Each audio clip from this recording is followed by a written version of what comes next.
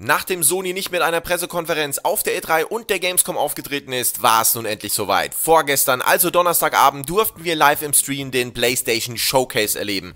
Und was hat Sony denn da bitte veranstaltet? Es wurde einfach mal die Hütte abgefackelt und alle PlayStation Gamer können sich extrem auf die kommenden Jahre freuen. Da es sehr viel zu sehen gab, muss ich mich in diesen 100 Sekunden Gaming News sehr beeilen und mich auf das Wichtigste fokussieren. Solltet ihr weitere Fragen haben, dann stellt sie gerne in den Kommentaren oder kommt doch einfach in einen meiner Live Livestreams auf Twitch. Es wird fast täglich gestreamt, aber jetzt geht es los mit den 100 Sekunden Gaming News zum PlayStation Showcase. Zum Start direkt die Bombe. Eines der besten Star Wars Games bekommt für die PlayStation 5 ein Remake, kein Remaster. Knights of the Old Republic kommt, aber wann ist noch unklar. Das Gerücht wurde bestätigt. Ab dem 5. Oktober können wir den ersten Alan Wake Teil als Remaster zum ersten Mal auf der PlayStation zocken. Ein neuer Trailer zu Forspoken war mal wieder atemberaubend und hat außerdem einige neue Charaktere vorgestellt, die von bekannten Hollywood-Schauspielern verkörpert werden. Man kann es gar nicht abwarten, in diese Welt einzutauchen und so lange müssen wir gar nicht warten, im Frühjahr 2022 soll es bereits kommen.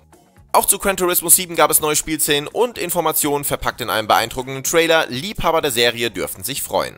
Ein ganz kurzer Teaser stellt ein neues Horrorgame vor. Kid Amnesia verwirrt stark und hat wohl mit dem 21. Jubiläum von Radioheads Kid Amnesia zu tun. Im November soll es bereits erscheinen. Project Eve wirkt wie ein actionreicher Hentai, Tentakel an jeder Ecke und in der Mitte die Protagonistin. Das Hack-and-Slay-Game, welches stark an Spiele wie Bayonetta und Devil May Cry erinnert, hat noch keinen Release-Termin.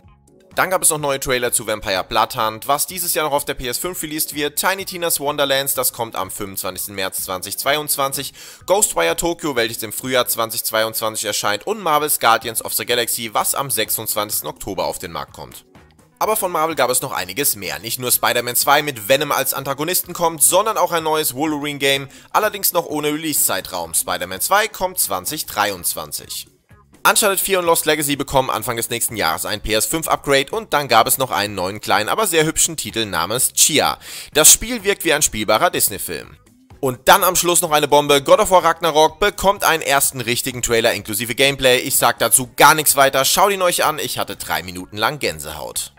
Das war es dann auch schon wieder für diese Woche mit den 100 Sekunden Gaming News. Wollt ihr dieses Format weiter unterstützen, dann gebt doch gerne ein Like, diskutiert mit mir über die aktuellen Gaming News in den Kommentaren und gebt das Video gerne auch an Freunde, Bekannte und Familie weiter, die daran Interesse haben könnten.